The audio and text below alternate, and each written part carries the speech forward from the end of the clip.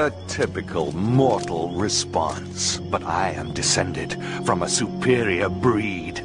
I shall unlock the power of the imprisoned Sarah Ravencroft. I'm lost. Andy is gone. They're gonna move from their house in two days, and it's all your fault.